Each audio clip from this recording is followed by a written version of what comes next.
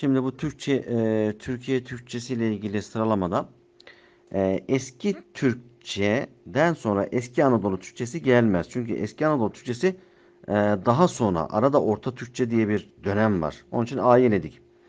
Eski Türkçeden sonra Doğu Türkçesi gelmeyecek. Eski Türkçeden sonra yine e, Orta Türkçe gelecek. Sonra yeni Türkçe çağa girecek.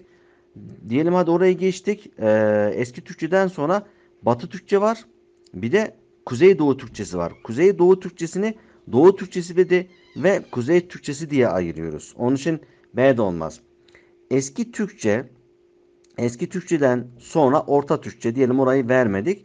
Sonra Batı Türkçesine geçiyor. Bakın eski Türkçede Batı Türkçesi ve Kuzeydoğu Türkçesi diye ayrılıyor.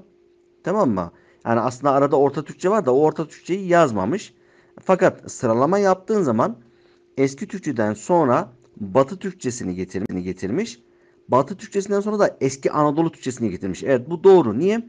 Çünkü ana, eski Anadolu Türkçesi Batı Türkçesi içerisinde olan bir Türkçe. Ee, fakat e, D şıkkında eski Türkçeden sonra Batı Türkçesi gelmiş. Bir araya Orta Türkçe, e, sonradan da Orta Türkçe. Hayır, Orta Türkçe Batı Türkçesinden önce olacak. Orta Türkçe e, daha sonra ortaya çıkmamış. Eski ile yeni Türkçe arasında. Eski Türkçe Kuzey Türkçesi demiş. Sonra eski Anadolu Türkçesi demiş. Tamam eski Türkçe diyelim. Sonra Kuzeydoğu Türkçesi var. Kuzeydoğu Türkçesi ikiye ayrılıyor. Doğu Türkçesi ve Kuzey Türkçesi. Tamam mı?